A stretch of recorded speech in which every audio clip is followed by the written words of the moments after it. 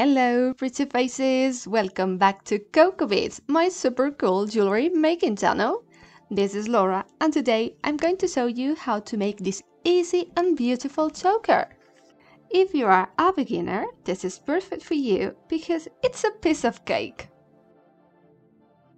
Here you have the list of supplies you will need.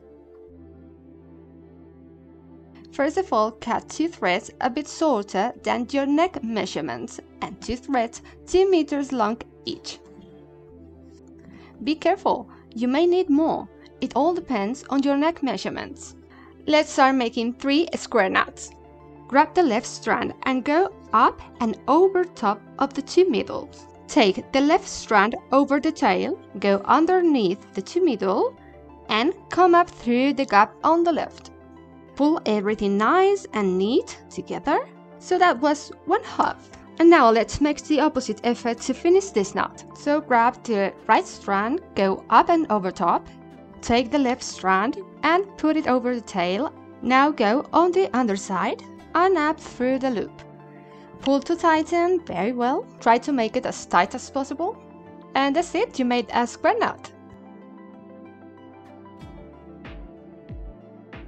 Okay, let's do it one more time. Start by crossing the left strand over the middle and put it under the right. Now take the right strand and bring it under the two middle and up through the loop. Tighten it up by pulling both strands at the same time. This time you have to leave half centimeters gap in between the knot and now repeat those steps in reverse. Take the right strand and cross it over the middle and under the left. Then the left strand goes underneath and up through the loop. As you can see, the middle strands never move. Remember to tighten very well that second half of the knot.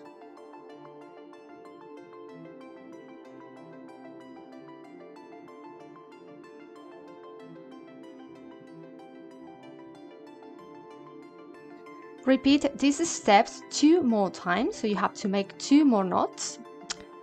Try not to forget you have to leave a gap of half centimeter between the knots and tighten it very well in the second half. This time add a bead on the right strand and make the square knot as usual.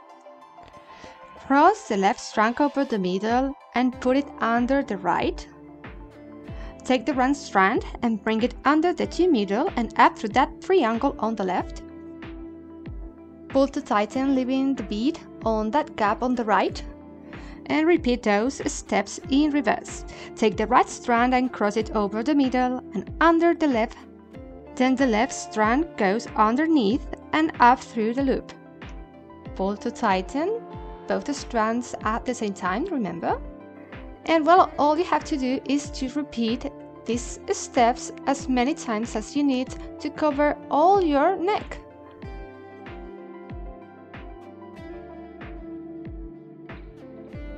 Just remember one little detail. You started 3 knots without any bead, so you have to finish making 3 knots without any bead. Finish this necklace with this kind of findings. Uh, you can put some super glue, but honestly it's not needed. Just use your pliers and press those little wings very well and that should be enough to close it. Just try to keep those four strands inside the finding and that's it.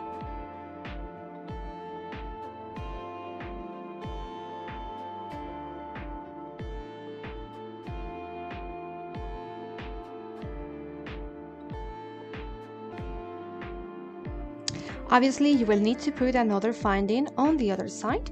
This type of findings are really easy to use and you don't need any any technique or any fancy tool to use them, so it's perfect for you if you're starting. Cut all those threads and you're gonna burn it a little bit just to seal it. Be careful because these findings are metal, so they can be really hot and do the same on the other side. You should have something similar to this. Now add a jump ring and a lobster clasp to one of the findings and that's it! Your necklace is done!